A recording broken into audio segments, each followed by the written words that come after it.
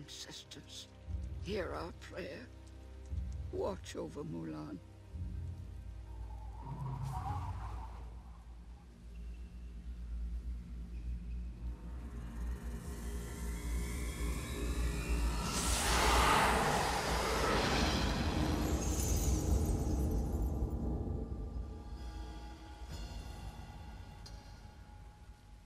Mushu, awaken.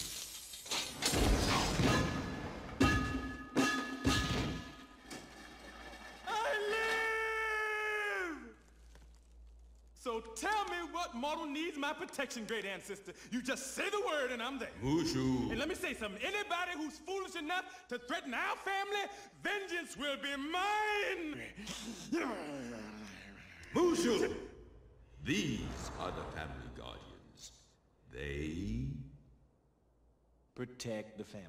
and you, O demoted one.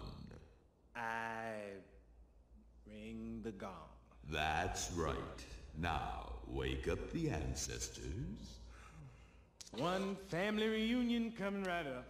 Okay, people, people look alive. Let's go. Come on, get up. Let's move it. Rise and shine. You're all way past the beauty sleep thing. Trust me.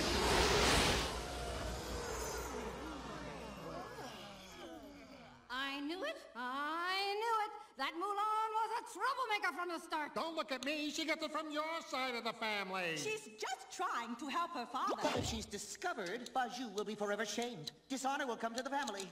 Traditional values will disintegrate. Not to mention they'll lose the farm. My children never caused such trouble. They all became acupuncturists. Well, we can't all be acupuncturists. No, your great-granddaughter had to be a cross-dresser!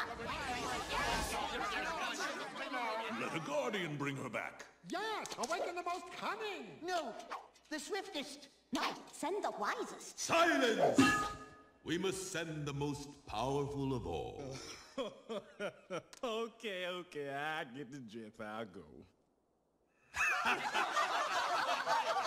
oh, y'all don't think I can do it? Watch this here.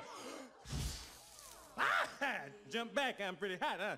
Don't make me have to singe nobody that prove no point. You had your chance to protect the Fa family. Your misguidance led Fa Deng to disaster. Yeah, thanks a lot. And your point is? The point is, we will be sending a real dragon to retrieve Mulan. What? What? I'm a real dragon! You are not worthy of this spot. Now, awaken the great stone dragon. So you get back to me on the job thing?